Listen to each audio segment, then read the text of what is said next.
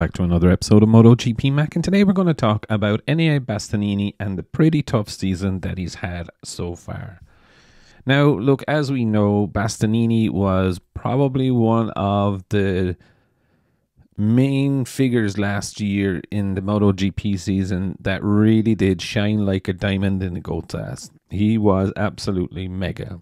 But then at other races, he was only okay. And this was probably one of the concerns for me about him was that there wasn't the consistency. But when we look at what's happened this season, you know, okay, the injury that he had after Portugal, you know, for sure has 100% knocked him. He's lost an awful lot of riding time and if you look at Pecco in that time, Pecco seemed to get his bike sorted to the way he wanted to. It did take him a couple of races, but we also have to remember that Bastianini jumped off of a GP21 hybrid. It had everything except the engine, the versions.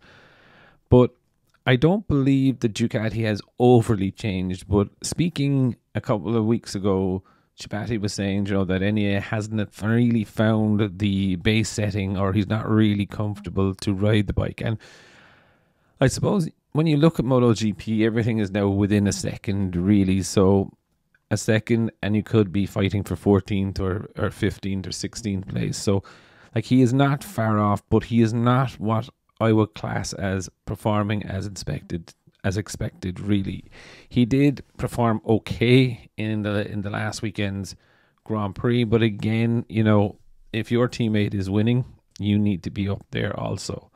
Now, I will also say I don't think his seat is under threat. Um, if this continues into the 2024 season, absolutely 100%, he will be removed from the factory team you know, and Ducati's sweetheart, should they get to own his contract, Marco Bezzecchi, then I definitely do think he is under threat anyway for 2025 season to be in the factory team. I do think that Ducati would want to put Pecco and Marco in the same team. Now, it's also definitely showing, I suppose, his lack of experience in MotoGP, and I say that respectfully you know, he was on the GP21. He made that jump. And this is something that I talked about for Bezzecchi as well. You know, currently Bezzecchi is on a very well sorted GP22. He doesn't really have to do too much. Okay, the tires will change slightly, but they can engineer slightly to that.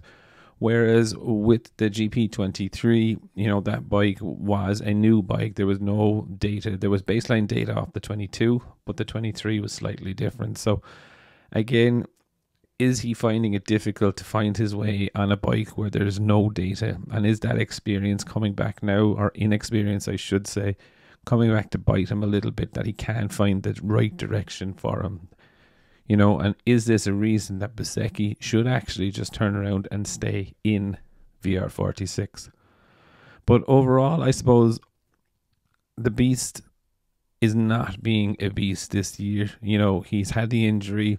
I think Ducati have mostly written off this year to help him get back to full fitness and have a good crack at it next year. But I definitely think Joe he needs to start showing some good results or going in the right direction for himself to gain the confidence to go into 2024 back at his old self, the old beast, delivering the results that we all kind of expected out of him.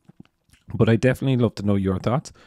What do you think is going on with the beast? Definitely leave your thoughts in the comments below, and I'll be back again tomorrow with another video.